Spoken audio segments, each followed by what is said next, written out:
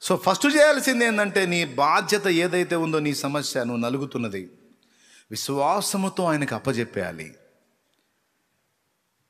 విశ్వాసముతో ఆయనకు అప్పజెప్పేసేయాలి. అప్పజెప్పి అప్పజెప్పి ఏం చేయాలన్నాడు హ్యాపీగా ఉండన్నాడు ఆనందంగా ఉండు. ఏం ఆనందం అన్నాయి అప్పులోళ్ళు వచ్చి రౌండ్ వేస్తున్నారు తడుకోళ్ళు వచ్చి తిడుతున్నారు. నువ్వు ఆనందం అంటే నీకు ఆ భారం లేదు. పొందితే అర్థమైంది. అంటారేమో హలో అప్పుల్లోంచి వచ్చా. అన్ని బాధలు అన్ని అవమానాలు అన్ని ఇబ్బందులు పడే నేను వచ్చా. అప్పుల సమస్య ఎరగకుండా లేను రోగాల సమస్య ఎరగకుండలేను నిందల సమస్య ఎరగకుండా లేను దాదాపు చాలా విషయాల అనుభవం ఉంది దేవుడు ఇచ్చాడు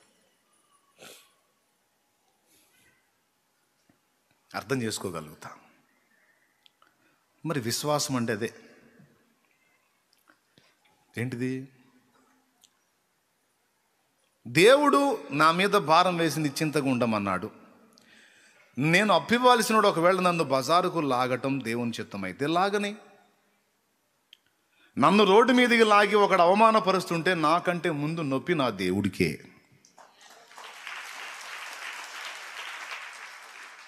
అసలు ఇంకా నేను ఇంకొక మాట కూడా చెప్తా అసలు కొంతమందికి భయం వేసిద్దేమో కానీ అసలు ఇంకో మాట కూడా చెప్తా. అసలు దేవుడు తొందరగా జోక్యం చేసుకోవాలంటే అసలు అట్లా మనల్ని రోడ్డుకు లాగేవాడు ఎవడన్నా హెల్ప్ చేస్తే బాగుండు అనిపిస్తుంది. దేవుడు చాలా తీవ్రంగా తొందరగా పరిష్కారం చేయాలంటే మనల్ని రోడ్డు మీదకి లాగి ఎవడన్నా హెల్ప్ చేస్తే బాగుండు అనిపిస్తుంది. దేవుడు తొందరగా జోక్యం చేసుకోవాలంటే మనల్ని ఇబ్బంది పెట్టేవాడు ఒకడు కావాలి. నేను అందుకే గతంలో ఒకసారి చెప్పాను ఎవరైనా మిమ్మల్ని అవమానపరిస్తే వాళ్ళు మీ కొరకు గొప్ప త్యాగం చేస్తున్నారు. ఎవరైనా మిమ్మల్ని రోడ్డుకు లాగి ఇబ్బంది పెడితే వాళ్ళు మీకోసం గొప్ప త్యాగం చేస్తున్నారు. ఏంటి గొప్ప త్యాగం తెలుసా? మొట్టమొదటిది నీ మీదికి దేవుని కనికరం వచ్చి నువ్వు ఆశీర్వదించబడటానికి వాళ్ళు తోడ్పాటు అందిస్తున్నారు. ఆ విధంగా దేవుని కనికరం నీ మీదికి రావడానికి దేవుని కోపాన్ని వాళ్ళు స్వీకరించడానికి తెగించారు. మరి అంతేగా ఆయన బిడ్డపైన నిన్ను ఇబ్బంది పెడితే ఫస్ట్ ఎవరి మీదకి ఏమొచ్చింది బిడ్డ మీద కనికరం వాడి మీద? వాడు తన్నులు తింటాడు లేదా అంటే నిన్ను బాగు చేయటానికి వాడు పని కట్టుకొని తన్నులు తినటానికి సిద్ధపడ్డాడు. సో ఇది ఉందని సంగతి వాడికి తెలియదు దేవునికి స్తోత్రం. ఇప్పుడు వాడు పరోక్షంగా మనకు ఉపకారే అపకారే? హెల్ప్ చేస్తున్నాడు వాడు. షిమి అనేవాడు దావీదుకు చేసింది అదే. కొడుకు తండ్రి మీద తిరుగుబాటు చేసి దావీదును సింహాసన భ్రష్టుని చేసి తరిమేస్తే దావీదు తన సమూహంతో కొండలకు పారిపోతుంటాడు. పారిపోతుంటే మార్గ మధ్యలో ఈ షిమి అనేవాడు సౌలు సంబంధి. అంటే దావీదుకు ముందున్న రాజు సంబంధి.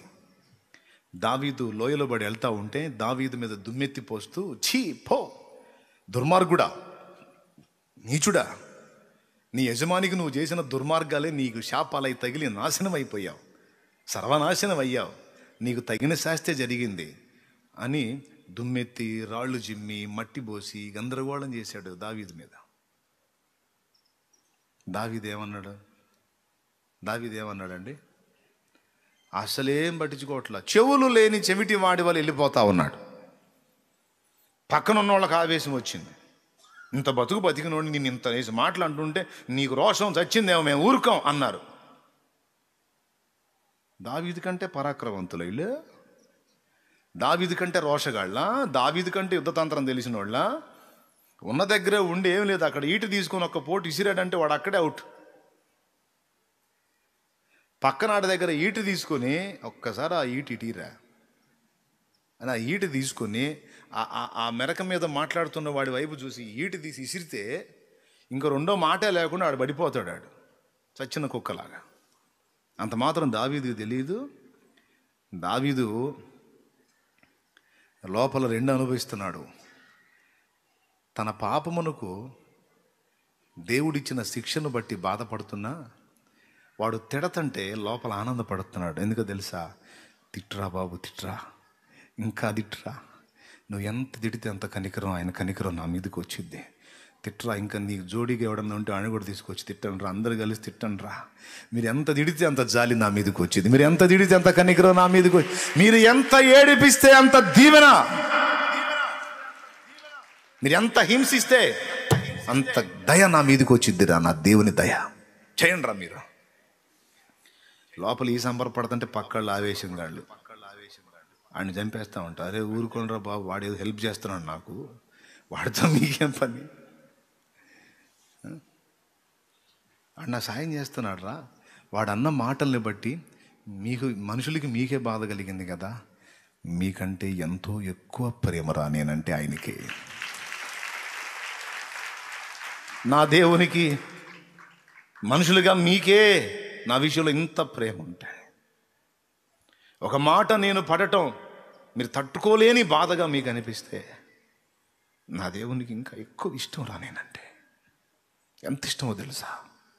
ఒక సామాన్యుడైన నన్ను తీసుకొచ్చి తన ప్రజలందరి మీద తన ప్రియమైన ప్రజల మీద రాజుగా నన్ను పట్టాభిషేకం చేశాడు ఆయన. ఎంత ప్రేమిస్తే ఎంత ఇష్టమైతే నా విషయంలో ఎంత సీరియస్గా ఉంటే ఆయన అంత కార్యం నా పట్ల చేశాడు.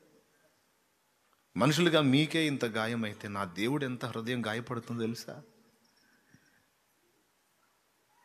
ఇప్పుడు వాడు గాయపరుస్తుంది నన్ను కాదురా. చూడండి తెలివి భక్తుని జ్ఞానం చూడండి. వాడు గాయపరుస్తుంది నన్ను కాదో? నా దేవుని హృదయాన్ని గాయపరుస్తున్నాడు వాడు. దీనివల్ల వాడి మీదికి ఉగ్రత నా మీదికి దయ రెండు ఏమో నేను కోల్పోయిన దాన్ని తిరిగి నా ప్రభు నాకు ఇచ్చునేమో అన్నాడు. సో అలానే జరిగింది. ఇప్పుడు చెప్పండి. దావీదు మీదకి దేవుని కనికరం రావడానికి షిమి అనేవాడు దోహదపడ్డాడా లేదా? పెద్ద ద్రోహం చేశాడా?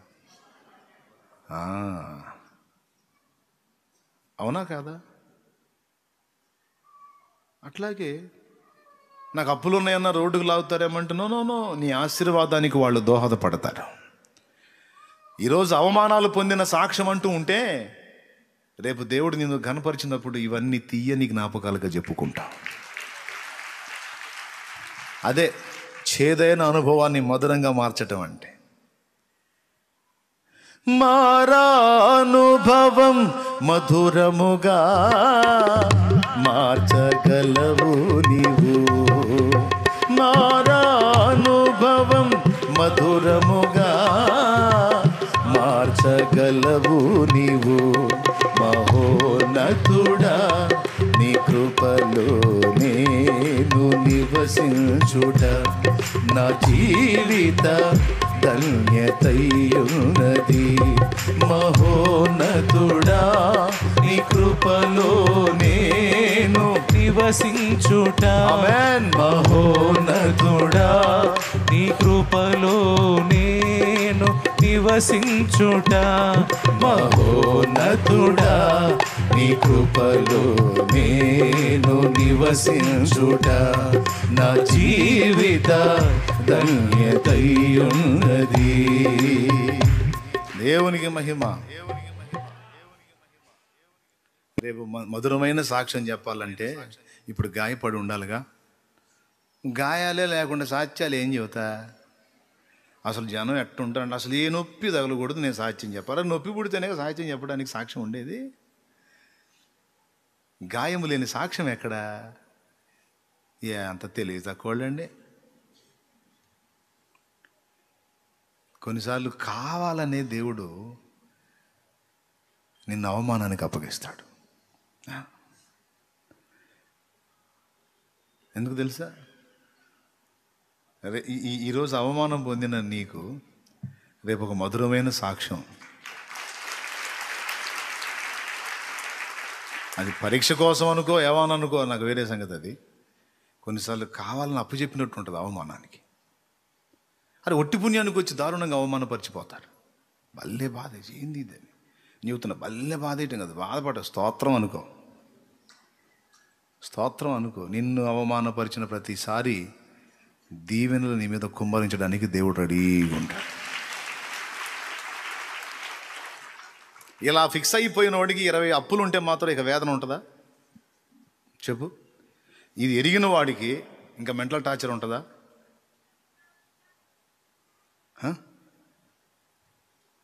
ఇప్పుడు లోకస్తులు అంటారు కదా అసలు మొత్తం వదిలేసిన వాడికి ఏముంటుందయ్యా అని. చొక్కా పోయి ఈ కింది వస్త్రం ఉంటే అమ్మో ఇది ఇది లాగేస్తారేమో లాగేస్తారేమో దేవుని ముందుకు పోయి మొత్తం తీసేసి నీ చిత్తమే ప్రభు అని వదిలేస్తే ఇంకా ఎవరు వచ్చి లాగటానికి ఏముందాడా? అని తీసేశాంగా.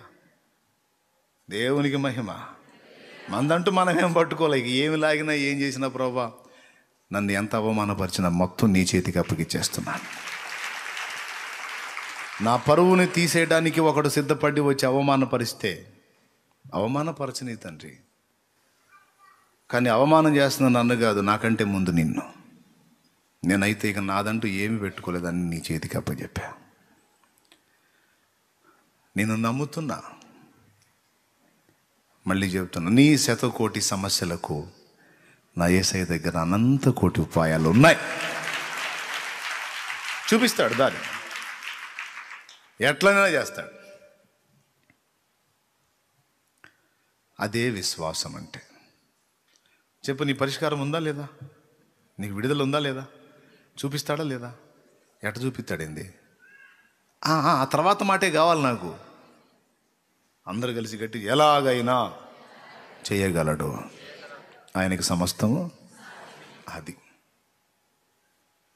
సో మొదటిది సమస్యకు కారణాలు తెలుసుకోవటం. రెండవది పరిష్కారం ఏంటో ఆలోచించటం. పరిష్కారం ఏంటి?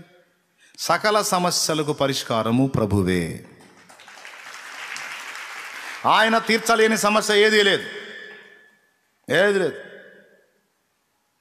దారాన్ని చిక్కులు వేసుకున్నట్టు అన్ని చిక్కులు చిక్కులు వేసుకుని మన తెలివి తెలుసా? ఒక ఒక ముడి ఓడ దిగిపోయి ఇంకా నాలుగు ముళ్ళు వేసుకొని కూర్చుంటాం. ఎప్పుడైనా ట్రై చేశారా దారం చిక్కులు తీయడానికి సన్న దారాలు చిక్కులు పడుతుంటాయి. ఎప్పుడైనా ట్రై చేశారా? నేను ట్రై చేశా. ఒక చిన్న ముడి కష్టపడి ఓడలాగి దాన్ని మళ్ళీ క్లీన్ చేసేసరికి మాకు పది ముళ్ళు వేసేవాడిని. చివరికి పటాపట దించి అడబడేసేవాడిని పడేసేవాడిని. ఒక ముడి తీయబోయి నాలుగు ముళ్ళు వేసుకునే బతుకు మంది. కానీ మన దేవుని గొప్పతనం తెలుసా? ఒక అంచు పట్టుకుంటాడు అన్ని ముళ్ళు అయ్యే ఊడిపోతాయి. ఒక అంచు పట్టుకుంటాడంటే అన్ని ముళ్ళు అయ్యే ఊడిపోతాయి.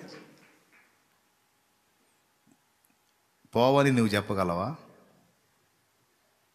నో పోతాయి అంతే. అదే విశ్వాసం. పద్దెనిమిది నిండు సంవత్సరాలు ఈ అనుభవాన్ని ఎరిగి ఉన్నాను.